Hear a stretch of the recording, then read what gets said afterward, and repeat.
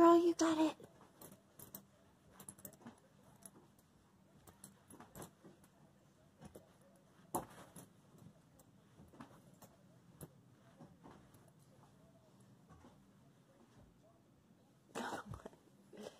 Come on.